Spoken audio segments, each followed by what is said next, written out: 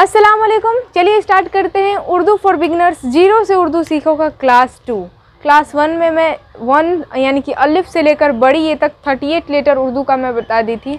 उसको अगर आप लोग याद कर लिए ना तो आपको उर्दू सीखने से कोई नहीं रोक सकता। अलिफ से ये तक उर्दू अल्फ़ाबेट आपको याद होना चाहिए, तभी आप उर्दू सीख पाएँगे। जिस तरह आप हिंदी को सीखने के लिए क ख वर्णमाला याद करते हैं ए बी सी डी सीखने के सॉरी इंग्लिश सीखने के लिए ए बी सी डी याद करते हैं। उसी तरह आप लोग को उर्दू सीखने के लिए अलिफ बे, उर्दू अल्फ़ाबेट को याद करना ही पड़ेगा। और ऐसे याद कीजिए, जैसे कि मैं उर्दू में पूछती हूँ सॉरी हिंदी में पूछ, अगर मैं पूछूँ आप लोगों से कि ज्ञ लिख कर दिखाइए तो आप लोग ज्ञ लिख कर दिखा देंगे, च लिख कर दिखाइए तो आपके माइंड में आ जाएगा कि हाँ च ऐसे लिखा जाता है और आप लोग लिख कर दिखा देंगे। ट लिख कर दिखाइए, ट लिख कर दिखा देंगे। ए बी सी डी में मैं बोलूँ कि एम लिख कर दिखाइए, लिखा देंगे। एन लिख कर दिखाइए दिखा देंगे पी लिख कर दिखाइए दिखा देंगे। उसी तरह आप लोगों को उर्दू में भी होना चाहिए कि अगर मैं बोलूँ कि काफ लिख कर दिखाइए तो आप लोग काफ लिख कर दिखा दें। मीम मैं बोलूँ तो आप लोग मीम आपके माइंड में आ जाना चाहिए कि हाँ मीम इस तरह लिखा जाता है, आप लोग लिख कर दिखा दें।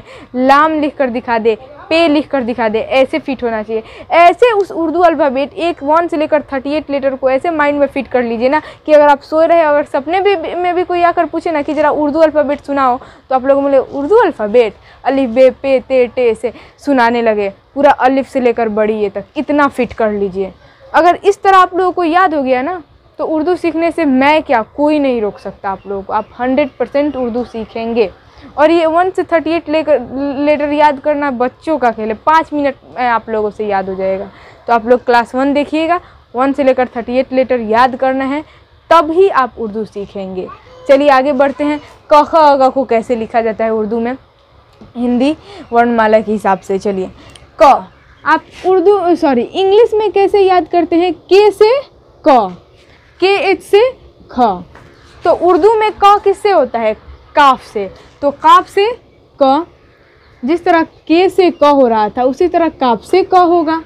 और जिस तरह के में एच जोड़ रहे थे तो ख हो जा रहा था, के एच से ख।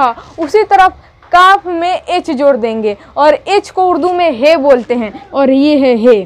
तो जैसे ही काफ को इतना दूर से काट कर और हे जोड़ देंगे तो काफ में हे मिलाकर हो जाता है खे और खे के ऊपर जोड़ दीजिए जबर। तो खे, जबर, ख। यानी कि हो गया ख और ये ये हो गया क और ये हो गया ख।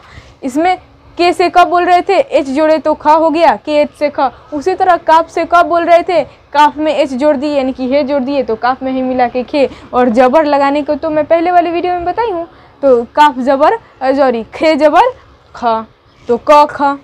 जी से ग उसी तरह गाफ से ग और जैसे ही जी में एच जोड़कर जी एच से घ बोलते हैं, उसी तरह गाफ में एच जोड़ दीजिए, यानी कि हे जोड़ दीजिए तो गाफ में हे मिला के घे और उस पर जबर लगा दीजिए तो उसका प्रोनाउंसिएशन क्या हो जाएगा? घ तो ग, घ तो क, ख, ग, घ हो गया। ये हो गया अंग। तो अंग का कैसे होता है? एन जी से अंग और ये ग। तो ये तो सिंपल है। ये ये और ये वर्ड और ये वर्ड उतना ज़्यादा यूज़ नहीं होता है, लेकिन फिर भी एक दो जगह यूज़ हो जाता है। ठीक है? अब देखिए, च। सी एच से च होता है। उर्दू में चे से च होता है। उर्दू में चे से च, चे इस तरह लिखाता है। बीच में तीन ठो नुक्ता, बिंदु रहता है। तो चे से च, और जैसे ही सी एच से च होता है, सी एच में एक और जोड़, एक और एच जोड़ेंगे ना तो सी डबल एच से छ होता है। उसी तरह उर्दू में भी चे से च होता है, और चे में जैसे ही एच जोड़ेंगे, यानी कि हे जोड़ेंगे तो चे में हे मिला के छः, और छः के ऊपर जबर लगा दीजिए तो छः जबर, छ। तो च, छ ठीक है? ऐसे लिखेंगे। और ज़रा लिखने का भी प्रैक्टिस कीजिएगा। अब देखिए, जे से ज होता है और जिम से ज होता है। इंग्लिश में जे से जा, उर्दू में जिम से जा। और जैसे ही जे में एच जोड़ते हैं तो जे एच से झा उसी तरह उर्दू में भी जिम में एच जोड़ दीजिए, यानी कि हे जोड़ दीजिए। तो जिम में हे मिला के झे और झे के ऊपर जबर तो झे जबर जा। तो ज, झ। उसी तरह ये होता है या तो या, ये इस तरह हो गया। इस पर नुकता रहेगा एक। वाई एन से या और या। ये हो गया, या टी से ट तो उर्दू में टे से ट होता है। उर्दू अल्फ़ाबेट में मैं बताई हूँ। तो टे से ट और जैसे ही टी एच से ठ होता है तो आप भी टे में है मिला दीजिए। यानी कि हे मिला दीजिए। जहाँ जहाँ पर एच है ना, वहाँ पर वहाँ पर है मिला दीजिए। तो टी से ट टे से ट और टे में है मिला दीजिए तो ठ डी से ड तो डाल से ड और जैसे ही डी में एच मिला है तो ढ हुआ है, उसी तरह आप भी डाल में एच मिला दीजिए, यानी कि हे मिला दीजिए तो ढ तो ड, ढ, ये होता है ड और इसको कभी कभी न भी पढ़ा जाता है। तो देखिए, ये एन से न और ये उर्दू में न को क्या बोला जाता है? नून। तो ये हो गया नून से न। टी से त तो उर्दू में किसे बोला जाता है? त, ते से त। तो ये हो गया ते से त। जैसे ही आप इंग्लिश में टी में एच मिलाते हैं तो टी एच से थ होता है। उसी तरह आप उर्दू में भी ते में एच मिला दीजिए, यानी कि ये वाला हे मिला दीजिए। देखिए, इतना काट कर और ये हे मिल गया है तो ते में हे मिला के थे और इस पर जबर लगा दीजिए। तो त और थ सिंपल। जैसे जैसे आप इंग्लिश में एच मिलाएँगे, उसी तरह आप लोग उर्दू में भी हाँ हे मिला दीजिएगा, ठीक? तो त था हो गया। द डी से द और दाल से द और डी एच से ध तो दाल में है मिला के ध, ठीक है? एन से न और उर्दू में नून से न, ठीक? अब आगे देखिए, प, पी से प और उर्दू में पे से प। और जैसे ही पी से प हो रहा था, आप पी में एच जोड़ रहे थे तो फ हो जा रहा था। उसी तरह पे से प होता है और जैसे ही पे में एच जोड़ेंगे, यानी कि हे जोड़ेंगे तो फ हो जाएगा। तो प, फ, ठीक? ये इस तरह मैं दी हूँ तो कोई दिक्कत नहीं है, ऐसे। ये इसका मतलब होता है तीन ठो नुकता है। तीन ठो नुकता इस तरह दिया जाता है, बिंदु। यहाँ पर तीन ठो बिंदु है। बी से ब। उसी तरह उर्दू में क्या होता है? बे से ब। ठीक? और देखिए, जैसे ही बी में एच जोड़ते हैं तो भ हो जाता है। उसी तरह बे में जैसे ही हे मिलाएँगे तो ये क्या हो जाएगा? बे में है मिला के भे और उस पर जबर। तो बी से ब, बी एच से ब, उसी तरह बे से ब और बे में है मिला के भ। ठीक है? एम से म तो देखिए यहाँ पर मीम से म। मीम से म होता है। तो एम से म और मीम से म। वाई से य तो ये हो गया ये से य। ये से य। आर से र तो ये हो गया रे से र, उर्दू में। यहाँ पर इंग्लिश में आर, उर्दू में रे। एल से ल तो उर्दू में लाम से ल। ठीक है? डब्लू व वी से व, यहाँ पर वाव से व। वाव, बहुत सिंपल वर्ड है। इसको याद करना बहुत आसान है। वाव वाव। किसी भी चीज़ को देख कर आप बोलते हैं ना, वाव। तो वही है, वाव से वाव ये हो गया श, तलाबे श। तो इस एच से तलाबे श, यानी कि श, और बड़ी सीन से श। एस एच से ये ये वाला स यानी कि इसको बोला जाता है पेट काटने वाला सा ये कि देखिए, इस तरह प होता है, इस तरह प होता है, इसमें से, बीच में से काट दिया जाता है। इसलिए इसको बोला जाता है पेट काटने वाला स तो इस एच से स श, और ये उर्दू में बड़ी शीन ये हो गया आपका स एस से स उसीलिए छोटी सीन से स देखिए, छोटी सीन को इंग्लिश में बोलते हैं एस और बड़ी सीन को उर्दू में बोलते हैं एस एच। सॉरी बड़ी सीन को उर्दू इंग्लिश में बोलते हैं एस एच। सिंपल। तो ये होता है ये वाला सौ और एस एच से ये वाला सौ। ठीक? आगे बढ़िए।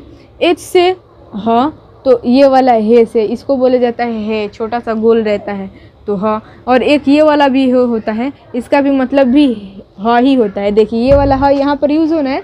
गाफ में है मिलाकर घे। तो यही वाला जिसमें ये जुड़ जाएगा उसका मतलब चेंज हो जाएगा। गाफ में है मिला के गे देखिए काफ में है मिला कर खे जिम चे, चे में है मिला के छे तो यही वाला है। दोनों का मतलब एक ही होता है। अब देखिए छ। के एस एच से छ आप लोग याद करते हैं इंग्लिश में। उसी तरह के को उर्दू में क्या बोलते हैं? काफ। के को उर्दू में क्या बोलते हैं? काफ। तो यहाँ पर काफ लिख दीजिए। एस एच को उर्दू में क्या बोलते हैं? तो एस एच को उर्दू में बोलते हैं, बड़ी शीन तो काफ और सीन। तो काफ, जिस तरह के एस एच से छ, उसी तरह काफ, बड़ी शीन से छ। टी आर से त्र तो देखिए। टी, ये है ते ते, देखिए, इस तरह ते होता है ना, ते। टी आर तो आर र किस तरह लिखाता है? देखिए, ते और र। तो टी आर, टी का ते हो गया आर से र तो इसी को जोड़ दिया गया इसमें, देखिए। ये र जो है ना, र, इसको ते को हटाकर, छोटा सा ते बनकर इसी में, जैसे कि ये ते होता है ना, ये ते हो गया। ते हो गया, इसको इतना काट दो और इसी में र जोड़ दो इस तरह। तो ये हो गया त्र, ठीक है? तो ऐसा नहीं है कि ये अलग अलग है दोनों का मतलब एक ही है, टी आर से त्र या ये वाला त्र। बात देखिए, इसमें ते है, रे है और अलिफ है। ये देखिए, ज्ञा जी वाई एन से ज्ञा और गाफ ये अलिफ से ज्ञा। ये हो गया सिंपल, आप लोगों का क, ख होगा उर्दू में। बहुत आसान है। बस आप लोग एक बार किसी भी तरह आपको माइंड में फिट करना है। अब देखिए, अब बात आती है, अलिफ से, अलिफ का प्रोनाउंसिएशन क्या होता है? अलिफ का मतलब? अलिफ का मतलब? बताई थी इसके पहले वाली वीडियो में क्लास वन अलिफ का मतलब होता है अ। अब मान लीजिए आपको आ लिखना है। क्या लिखना है? आ। तो किससे होगा आ? बताइए। अलिफ? पर जैसे ही जबर दिया जाता है, या फिर सिर्फ़ अलिफ का मतलब होता है अ तो अब आ कैसे बनेगा? तो देखिए, आ बनाने के लिए एक और डिज़ाइन आता है। ये अलिफ है, इसके ऊपर ये वाला सिंबल बना दीजिए। ये वाला सिंबल को बोलते हैं ना, उर्दू में क्या बोला जाता है? मद। क्या बोला जाता है? मद। और ये मद लगता है ना अलिफ पर तो उसका हो जाता है आ। जैसे ही कि इस मद को उठाकर इस अलिफ के ऊपर लगाएँगे ये वाला डिज़ाइन को तो ये वाला डिज़ाइन जैसे ही अलिफ के ऊपर लगेगा तो अलिफ मद आ हो जाएगा। तो यहाँ पर अलिफ का मतलब अ हो रहा था, यानी कि अलिफ के ऊपर जबर लगाइए या फिर नहीं लगाइए जबर का मतलब होता होता है अ तो अलिफ जबर अ, चलिए लगा ही दे रही हूँ, अ। और अलिफ पर जैसे ही मद लगाएँगे ना तो अलिफ मद आ। तो सिंपल हो गया ना, अ, आ। अब आप बोलेंगे, जैसे कि मान लीजिए हमको बा लिखना है तो हम क्या कर सकते हैं? बे के ऊपर मद लगा देंगे, ता लिखना है तो हम क्या करेंगे? ते के ऊपर मद लगा देंगे, पा लिखना है तो हम क्या करेंगे? पे के ऊपर मद लगा देंगे। लेकिन ऐसा नहीं होता है। सिर्फ़ अलिफ पर ही मद लगता है, बाकी किसी भी, इस हर्फ में से किसी पर भी मद नहीं लगता है, ये ध्यान रखिएगा। आ बनाने के लिए सिर्फ़ अलिफ पर मद लगेगा। ये वाला डिज़ाइन लगेगा। बाकी ना बे पर ना ते पर या अलिफ बे, बे अलिफ को छोड़कर जितने भी हर्फ है जितने भी लेटर है कभी भी उन पर ये मद नहीं लगेगा। सिर्फ़ अलिफ पर ही ये मद लगेगा और जैसे ही ल, मद लगेगा उसका इसका मतलब हो जाएगा आ। अब आप बोलेंगे तो ठीक है हमको बा बनाने के लिए जब हम बे पर मद नहीं लगा सकते हैं तो हम बताइए बा कैसे बनाए? बा कैसे बनाए हमको बताइए ट्रिक तो देखिए, बे से तो बा होता है, बे जबर बा से बा। लेकिन बा बनाने के लिए देखिए क्या होता है। बे जबर ब होता है तो ये हो गया ब। और बा बनाने के लिए इतना आधा काट दीजिए और इस पर अलिफ जोड़ दीजिए। तो बे अलिफ जबर बा, हो गया। ते ते जबर त होता है ना, ते जबर त। और ता बनाने के लिए बस इतना आधा इसको काट दीजिए। इतना काट कर और इस तरह अलिफ जोड़ दीजिए तो ये हो गया ते अलिफ जबर, ता। पा है ना? तो देखिए। पा बनाने के लिए ये देखिए, पे जबर पा होता है। पे जबर पा होता है ना? अब पा बनाने के लिए सिर्फ़ अलिफ जोड़ दीजिए ये अलिफ। तो पे अलिफ जबर, पा। यानी कि आप इसमें से कोई भी वर्ड का अगर आ में लिखना चाहते हैं, चाहे वो भा, मा, या, रा, ला, वा तो उसमें सिर्फ़ अलिफ जोड़ देंगे। वाब वाफ अलिफ ज़बर, वा। सीन अगर सा लिखना है तो सीन अलिफ ज़बर, सा। हो गया। दा दा लिखना है तो दाल के साथ अलिफ जोड़ देंगे, दा। अगर ना लिखना है तो ये हो गया नून, इसके साथ अलिफ जोड़ दीजिए तो नू, अलिफ ज़बर, ना। अगर आपको गा लिखना है तो गाफ इस तरह होता है, इस पर अलिफ जोड़ दीजिए तो गाफ, अलिफ ज़बर, गा।